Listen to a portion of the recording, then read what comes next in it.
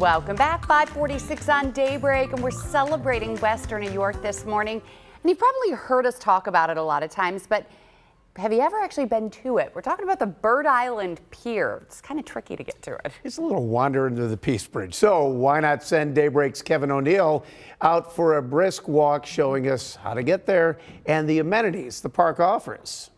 In my long career as a feature reporter and my even longer career as a Buffalonian, I've never been on Bird Island Pier until today. Let's go! I don't know why I sounded angry. Grab your sneakers and come with me.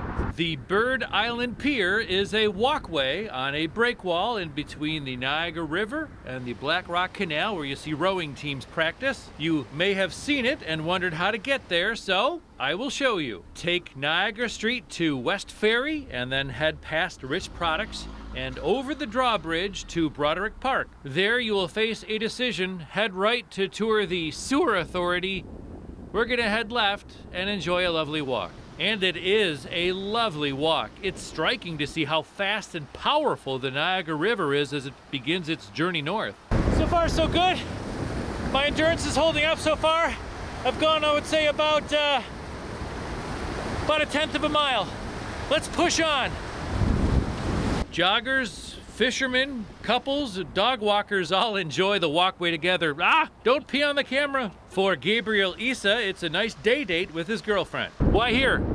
Uh, the pier it's beautiful. You got you got the Niagara River and you got the lake right here all in one area. And beautiful park.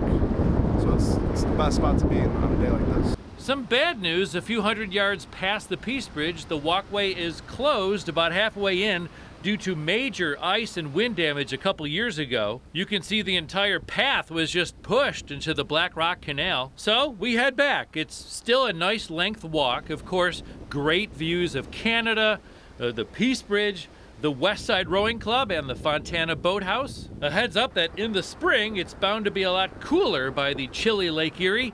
Wear some comfy shoes, of course, and pack a lunch or a picnic. Broderick Park is a cute spot to rehydrate as well. Again, the park and the Bird Island Pier entrance is at the end of West Ferry Street in Buffalo. Celebrating Western New York, I'm Kevin O'Neill, Channel 2 News.